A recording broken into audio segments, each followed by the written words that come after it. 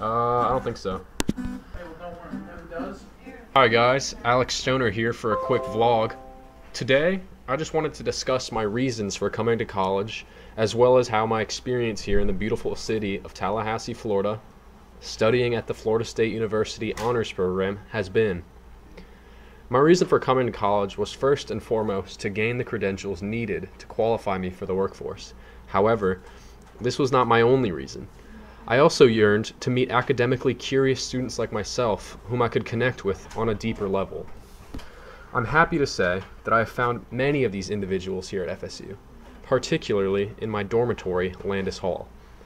When I'm not chilling with my boys from back home, I might be sitting at the den late on a Friday night pondering deep philosophical quandaries with my peers, or in my bedroom playing blitz chess with my roommate and great friend Tristan.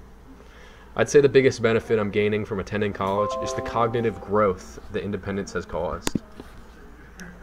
I personally believe college provides students with the biggest personal benefits. I, as well as I, as well as many of the kind friends I've made here in Tally, think we've matured and grown into true adults during our short time as freshmen. All right, guys, Alex Stoner signing off. Don't.